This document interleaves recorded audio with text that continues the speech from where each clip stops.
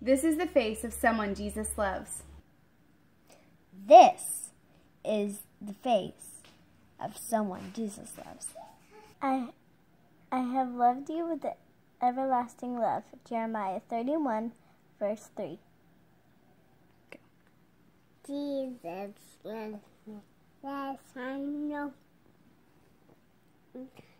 Jesus loves me. Yes, I know. The messages we tell our children matter.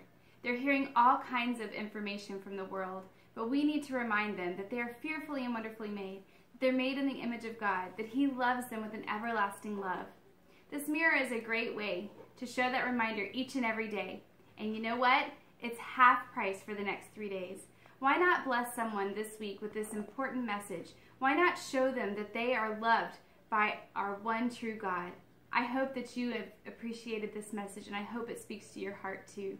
You are the face of someone Jesus loves.